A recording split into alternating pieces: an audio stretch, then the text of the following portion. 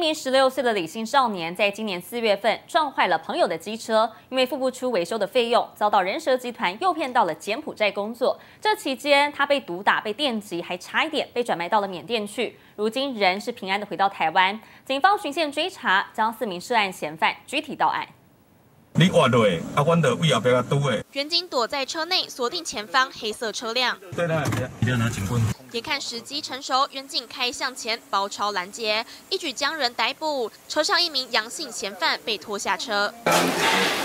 另外还有一名陈姓嫌犯，原本在家，警方突然找上门，把他给吓坏。这几人都是涉嫌将十六岁少年拐到柬埔寨工作的人蛇嫌犯，目前一共拘提四人到案。因积欠修车费而遭胁迫至柬埔寨工作，遭到殴打，限制人身自由。